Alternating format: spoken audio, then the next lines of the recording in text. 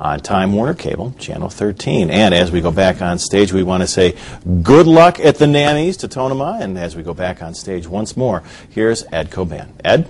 Thank you.